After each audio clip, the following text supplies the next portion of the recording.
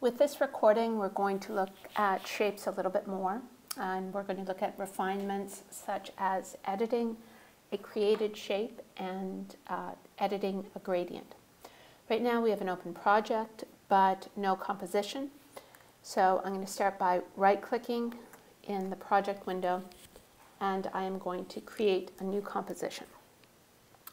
This is going to be about shapes, so I'm going to call it Shapes uh, editing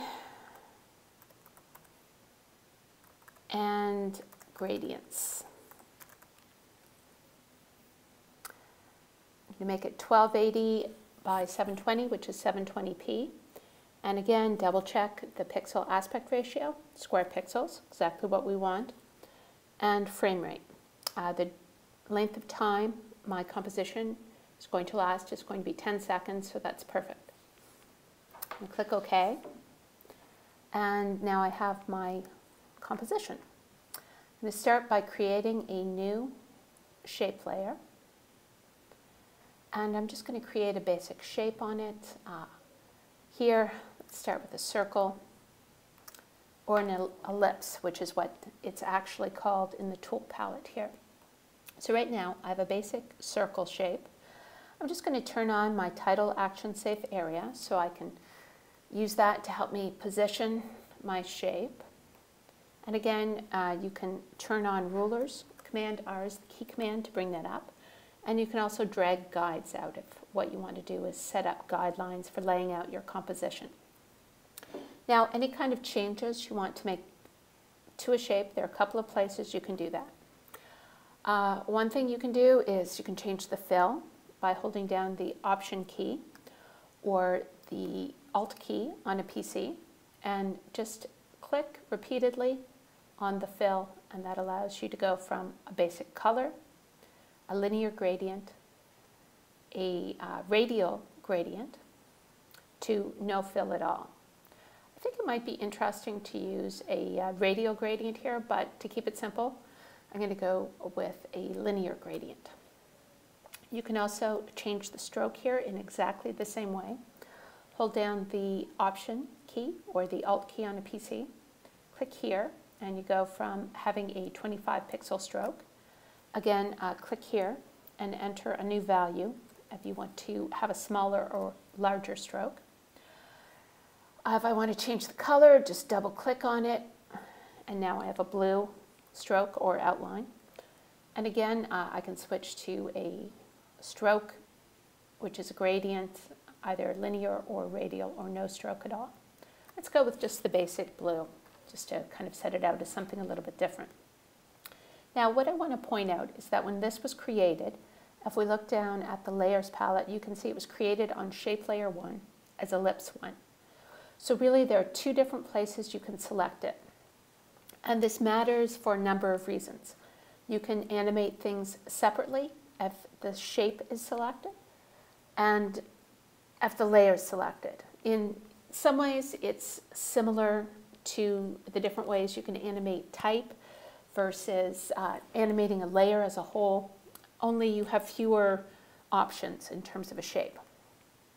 Now, what I want to point out is uh, shape layer one, I'm going to call this circle, and I am just going to change that name by selecting it, hitting the return key, and typing in circle. And here, I can also change the name here. So again, select it, hit the return key, and I am going to call this gradient circle. And now, one of the reasons why I did that is because uh, we have one shape layer called circle, and right now we have one shape on it. But if I were to go in and say select the polygon tool and click and drag, what I'm going to get is a second shape on my circle layer. So I'm just going to rename this to reflect that. I'm going to call it uh, circle ampersand star. And polystar 1, I'm just going to, I'm only going to have, well actually I didn't draw a star, did I? I drew a polygon. So let's just change that to circle and polygon. Okay, so I have my polygon here. Right now it looks uh, exactly like my circle in terms of the gradient fill and the stroke. But if we look over here in the layers palette and just drop it down, you can see I can go in and make changes to it. So here, if I drop down the stroke, for example, and change the color, let's make it pink, then it only changes it for my polygon. And let's say uh, what I want to do is, uh, so I've changed the stroke. I can also go in and change things like the stroke width. And if I scroll down a little bit more, I could also set, uh, say, for example, dashes. So here I've added uh, 10 dashes and I'm going to add a little bit of an offset. I could animate this and that might actually be a little bit interesting. So let's do a one second animation where the uh, dash numbers change. So we get uh, larger and larger dashes till they completely give us an outline. So now if we were to just scrub the playback head, you can see what that looks like. Almost looks like it's being drawn. And actually maybe I will start it with even more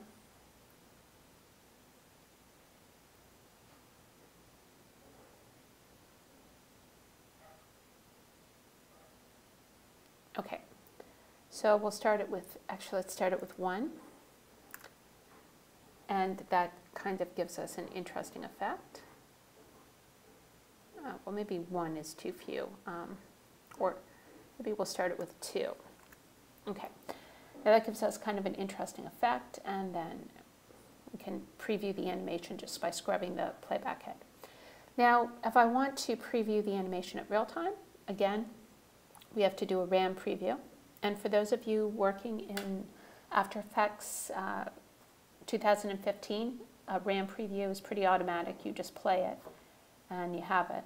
Now here I'm just going to uh, generate a RAM preview by clicking this button. You can also go under uh, Composition, Preview, RAM Preview, and that will do it as well. And uh, again, let's just watch this so we can see what the animation looks like. Now this is taking a long time to run through because we're previewing the entire 10 seconds. We could actually preview a much shorter area of the composition by setting our work area to be much shorter. And then that way when we generate a RAM preview, now we're only uh, generating it for the first three seconds. So that's something you can change back and forth all the time. Uh, now here I've got my uh, I've got my stroke animated. Let me just go in and have a look at the fill. So gradient fill. Actually here for this, let me just go in. You just select my shape. Now here I want to point out that when my shape is selected, uh, it allows me to, um, I can see the anchor point, which is, uh, in this case, it's actually in the center. But I also get this, which allows me to go in and edit my gradient. So if I want to change how it looks and in terms of how smoothly it runs across and how gradual, I can just go in and click that. I can also change it here. So for example, um, I want to change my color to something else. I can do that very easily here. I'm not saying this is going to be pretty, but it will be different select the second color stop, and again, I can go in and make that change. Now here, this uh, specifies the color midpoint. That's part of what you're editing when you're dragging that little line in the gradient itself. But I also want to point out that by clicking anywhere along this, you can go in and set an additional color stop. So you could have a rainbow. Really, you can have as many different color stops as you want though I'm going to say uh, too many and it starts to look a little bit busy. So again here you can go in, make these adjustments to the points between color. So I'm going to have like a stripy effect over in this corner and then have it kind of gradually move to the magenta. Okay, so there's no reason to do that. I just wanted to show you how you could go in and edit a gradient. And actually, while we're here, let's look at the circle. And again, clicking directly on the circle or clicking on gradient circle over here allows us to go in and edit the gradient in a more direct way. And here, rather than um, go in and change the color, what I'm going to do is I'm going to change it to a radial gradient. And rather than going from a color to another color, I'm still going to do that, but what I'm really going to set, set this one to white, and what I want to really change is the opacity. So I'm going to have it go from full opacity to about 10%, which when it's against a black background makes it look like it's going from white to black. But if we have something underneath it, it will look like it's going from white to transparent. Okay, so here, now we have that property done. If we wanted to, um, you know, go in and edit that gradient, we can. Uh, again, it's a matter of putting your playback head at the point where you want it. And I'm just going to set a start point for my gradient. And then at one seconds, I'm going to add an additional keyframe. And I'm going to change that start point. So it's going to go from one side to the other. And actually, let's just change that. So let's undo that last bit. So it starts like that and then goes over here. And uh, I could also edit the, the end point as well. Let's do that. And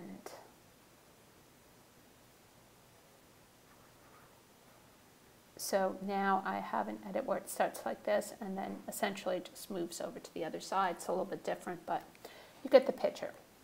Okay, so click directly on a shape with the selection tool if you need to change the fill, the stroke, or edit the gradient. Now, if you need to change a shape itself, you know, alter the shape, then what you're actually uh, working with is the path. And here, um, let's just have a look. We have the gradient circle. We have ellipse path 1.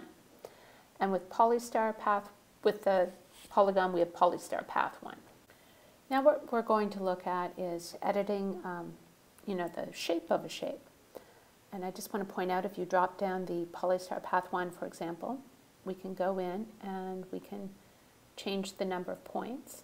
So we could animate this as a property. We already have the stroke animated. Let's say what we want to do is start with three points, which is the minimum we can with a, with a shape.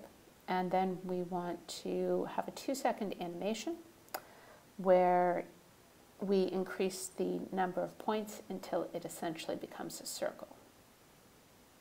So that's what we have.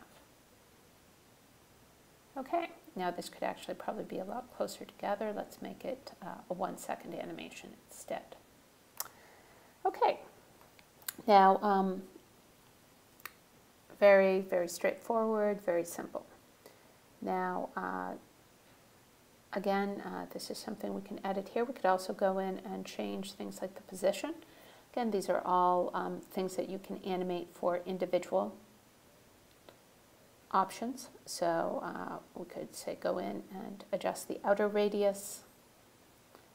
Let's go in and, and just add another keyframe for that and make it a little bit larger.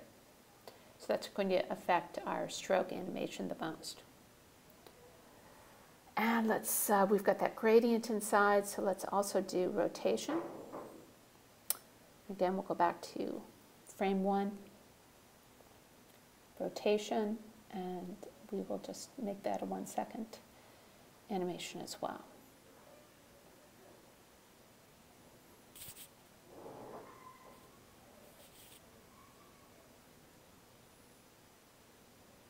Okay, now you'll notice the um, our shape is rotating. Hard to see because so much is going on here, but our gradient isn't. And uh, one thing that's interesting about this, if we want to go in and animate our gradient, we have to animate it uh, in the gradient fill one option. So again, here we can go in and just add a keyframe at the beginning. Add a, another keyframe. And let's just have it grow. And let's also, let's add, edit the colors as well. Let's have a keyframe here. Maybe we'll have one where the first animation starts. And we will cycle through the colors at two seconds. Go to edit gradient. Let's, uh, actually, let's just get rid of these and let's change this one to something completely different. Okay, so we'll make it white and this one we will make yellow. So let's see how that looks. Okay, so a little bit different in terms of the animation. And again, these are all things we can adjust. So here uh, we have two separate animations going on. What I want to point out is that, um, you know, they are essentially, they're happening to two shapes that are uh, on the same layer. And this is okay if you don't want them to move around or do anything like that or do anything complicated. But if you need to do more complicated animation, I want to point out that the anchor point is in the center of the layer. And if you're moving it to one shape or the, the other, then uh, you're kind of optimizing it for that layer. So if we were to do a rotation here, oh, uh, let's make sure we're on the right layer first. Then, uh, and again, let's make sure we're on the right layer.